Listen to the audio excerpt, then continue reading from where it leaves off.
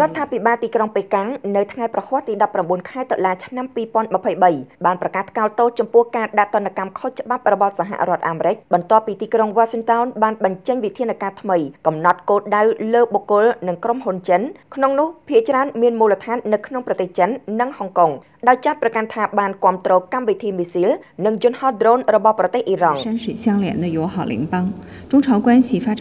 ស្របពេលជាមួយគ្នានេះដែរអ្នកនាំពាក្យក្រសួងការបរទេសចិនលោកស្រីម៉ៅនីងបានគូបញ្ជាក់ថាយើងតែងតែប្រឆាំងយ៉ាងម៉ឺងម៉ាត់ចំពោះតនកម្មឯកតោភាគីខុសច្បាប់ដែលដាក់ដោយសហរដ្ឋអាមេរិកហើយថាចិននឹងការពារយ៉ាងម៉ឺងម៉ាត់នៅសិទ្ធិនិងផលប្រយោជន៍ស្របច្បាប់របស់ក្រុមហ៊ុននិងប្រជាពលរដ្ឋចិន